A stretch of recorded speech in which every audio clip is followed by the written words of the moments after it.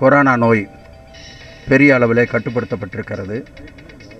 எனவே மாணவர்களுடைய படிப்பு முக்கியம் என்பதையும் மனதிலே வைத்து முன்னெச்சரிக்கை நடவடிக்கைகள் அத்தனையும் மனதிலே வைத்து அதற்கேற்ப பள்ளிகளை நடத்த வேண்டும் என்று துறை அதிகாரிகளுக்கும் ஆசிரியர் பெருமக்களுக்கும் அதை கல்வி பள்ளித்துறையினுடைய அமைச்சர் மகேஷ் அவர்கள் மூலமாக அவள் முதல்வர் அவர்கள் தெரிவித்து இன்றைக்கு பள்ளிகள் திறக்கப்படுகிறது.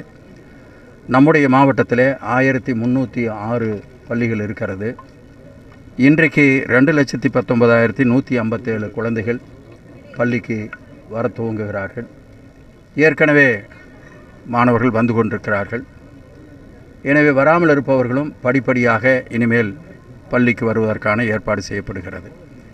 அங்கே அந்தந்த பள்ளியில் இந்த மாதிரியான ஏற்பாடுகளை செய்திருக்கு. அந்த அங்கே இருக்கிற அதிகாரிகள் அதற்கான நடவடிக்கைகளை எடுப்பார்கள்.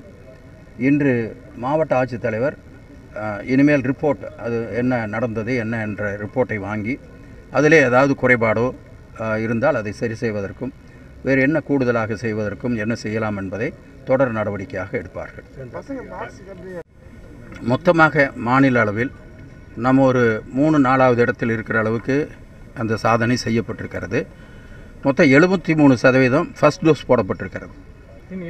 ஈரோடு டிஸ்ட்ரிக்ட் ஒரு முப்பது சதவீதத்திற்கு மேலே செகண்ட் டோஸ் இப்பொழுது நடந்து கொண்டிருக்கிறது.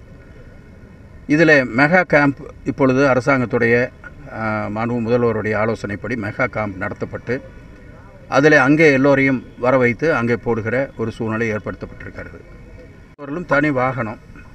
அதே மாதிரி எந்த ஆரம்ப சுகாதார நிலையமாக இருந்தாலும் சரி எல்லா மருத்துவமனையாக இருந்தாலும் சரி நீங்கள் இந்த கொரோனா நம்ம பீக்கில் இருந்த காலத்தில் கொஞ்சம் மற்ற நோயாளிகளுக்கு சிக்கல் இருந்தது என்பதை நான் ஒப்புக்கொள்கிறேன்.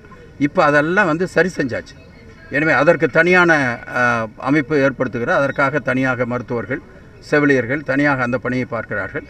ரொட்டீனாக எப்பொழுதும் பார்க்கிற பணியை பார்ப்பதற்கு அதற்கான ஏற்பாடு செய்யப்பட்டு விட்டது. அதில் எங்கேயும் ஒரு சிக்கல் எங்களுக்கு இதுவரை ரிப்போர்ட் ஆகவில்லை. அப்படி வந்தால் அதற்கு தனி கவனம் செலுத்தி அதற்கான நடவடிக்கை எடுக்கப்படும்.